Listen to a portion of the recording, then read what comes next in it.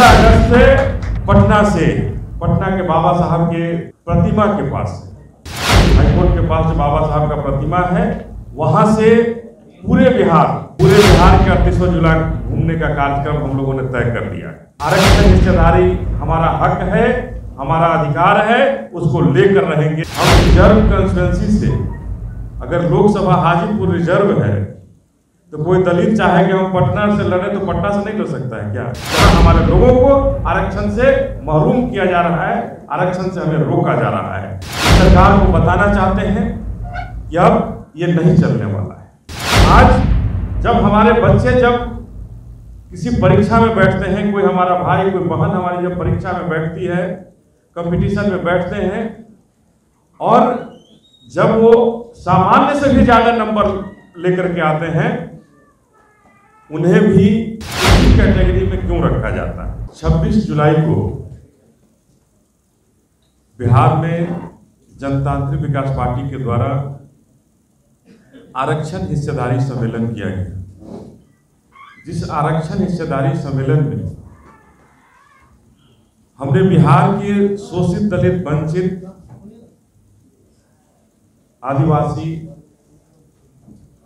को जो आरक्षण का जो मॉड्यूल जो दिया गया है, जो आरक्षण में हमें रोकने का जो प्रयास किया गया है, इन सरकारों के द्वारा जो अभी वर्तमान में जो सरकारें हैं, उन सरकारों के द्वारा जो कुत्सित प्रयास किया गया है, उसके खिलाफ हम लोगों ने एक कृष्ण मेमोरियल हॉल में पटना के अंदर एक सम्मेलन किया था। और उस सम्मेलन के तहत यह बात स्पष्ट रूप से आई कि हमें शोषित दलित वंचितों आदिवासियों को नौकरी में जाने से रोका जा रहा है। दस प्रतिशत का आरक्षण मनवादियों के दिया गया सामंतवादी व्यवस्था को दिया गया। जब संविधान के अंदर उनचास पॉइंट पाँच प्रतिशत आरक्षण की बात कही गई तो कैसे दस प्रतिशत आरक्षण आर्थिक आधार पर दी गई? जब संविधान में स्पष्ट रूप से है कि आरक्षण सामाजिक रूप से जो पिछड़े हैं, उनके लिए ही हो सकता है, जो शिक्षा के रूप में पिछड़े हैं, उनके लिए हो सकता है। फिर आर्थिक शब्द कैसे जोड़ा गया और क्यों जोड़ा गया? आज जब हमारे बच्चे जब किसी परीक्षा में बैठते हैं, कोई हमारा भाई, कोई बहन हमारी जब परीक्षा में बैठती है, कंपटीशन में बैठते हैं और जब वो सामान्य से भी ज़्यादा नंबर लेकर के आते हैं, उन्हें भी उसी कैटेगरी में क्यों रखा जाता है? उदाहरण के रूप में मैं कहना चाहता हूँ कि क्या हम रिज़र्व कंस्टिट्यूंसी से अगर लोकसभा हाजीपुर रिज़र्व है तो कोई दलित चाहे कि हम पटना से लड़े तो पटना से नहीं लड़ सकता है क्या? कहीं लोग है। लड़ सकते हैं ना? तो फिर जब हमारा कहने का मतलब है कि सामान्य कोट, कोटे पर भी हमारा अधिकार है।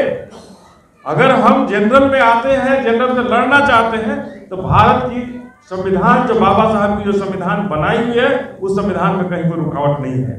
तो वर्तमान की सरकार कैसे ये दोरंगी नीति कर रही है कैसे ये दोगली नीति ला दी है जहाँ हमारे लोगों को आरक्षण से महरूम किया जा रहा है आरक्षण से हमें रोका जा रहा है। तो हम सबसे पहले आपके माध्यम से कर रही है, कैसे दोगली नीति ला दी है, जहाँ हमारे लोगों को आरक्षण से महरूम किया जा रहा है, आरक्षण से हमें रोका जा रहा है। तो हम सबसे पहले आपके माध्यम से पूरे बिहार में इस सरकार को बताना चाहते हैं कि अब ये नहीं चलने वाला है।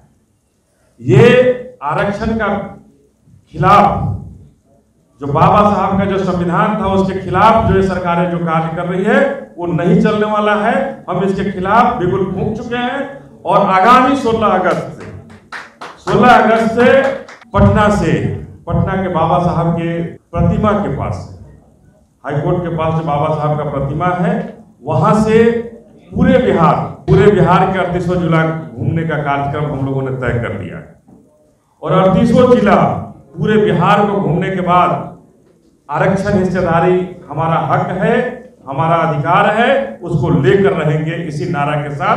क्योंकि हम न वाम पंथ है, न हम धर्म पंथ है, हम भीम पंथ है। तो हम बाबा साहब का जो संविधान था, उसकी रक्षा करने के लिए, जो अधिकार हमें दिया था, उसकी रक्षा करने के लिए पूरे भारत बिहार में घूमने का कार्यक्रम हम लोगों ने तय कर लिया है। और यहाँ से पहले पटना से निकलेंगे, और सबसे पहले 16 अगस्त को हम लोग वैशाली जाएँगे और वैशाली से ही हमारा कार्यक्रम का शुरुआत होगा, क्योंकि वही लोकतंत्र की जननी है। वैशाली ही लोकतंत्र की जननी है और लोकतंत्र की जननी जो जिला है, जो जगह है, वहाँ से कार्यक्रम मूल मूल रूप से शुरू होगा। बाबा साहब से शुरू होकर के भीम बाबा साहब की मूर्ति से हम लोग प्रस्थान करेंगे और वैशाली से हमारे कार्यक्रम का शुरुआत होगा। कि आरक्षण हिस्सेदारी सम्मेलन हमारा अधिकार है। आरक्षण में हिस्सेदारी हमारा हक है। हम इसे लेकर रहेंगे। जब सामान्य वर्ग में हमें विधानसभा से में नहीं रोका जा सकता है, लोकसभा सीट पर सामान्य वर्ग में नहीं रोका जा सकता है तो नौकरियों में जब हमें मिलते आया है, सब कुछ मिलते आया है तो ये 2014 के बाद हमें रोकने वाली सरकारें कौन ये सरकार कौन है? जो हमें रोक रही है, आरक्षण से रोक रही है, एक तो रोज़गार खत्म कर दिया, सब कुछ बेच रहा। है क्या बाबा साहब के संविधान में कही था क्या कि जो भारत का जो भी हमारा मूल समान है, उसको बेच दे सरकार? एक बार आपको याद होगा, गांधी मैदान बेचने की बात हुई थी तो कितना उसका विरोध हुआ? क्या बाबा साहब के संविधान में कही था क्या कि जो भारत का जो भी हमारा मूल समान है, उसको बेच दे सरकार? एक बार आपको याद होगा, गांधी मैदान बेचने की बात हुई थी तो कितना उसका विरोध हुआ? और यहाँ रेल बिक रहा है, एयरपोर्ट बिक रहा है, कोई बोलने वाला नहीं। और जो बोले, उसके खिलाफ ईडी प्रकोष्ठ बना हुआ है, भारतीय जनता पार्टी का। ईडी प्रकोष्ठ और सीबीआई प्रकोष्ठ बना हुआ है। सब पार्टियाँ बनता ना प्रकोष्ठ? अल्पसंख्यक प्रकोष्ठ, आदिवासी प्रकोष्ठ, पिछड़ा वर्ग तो वही प्रकोष्ठ बन गया है, ईडी प्रकोष्ठ। और ईडी में सारे भ्रष्ट पदाधिकारी वहाँ बैठ करके तय करते हैं कि किनको हमें जेल भेजना है। भारतीय जनता पार्टी के लोग चिन्हित करते हैं कि कौन हमारे खिलाफ बोल रहा है, उसको कैसे हम जेल भेजकर प्रताड़ित करें। तो हम जनतांत्रिक विकास पार्टी की तरफ़ से निश्चित होकर के बोलना चाहते हैं कि बाबा साहब का संविधान की रक्षा के लिए हम अपनी बलि, अपना बलिदान कर देंगे।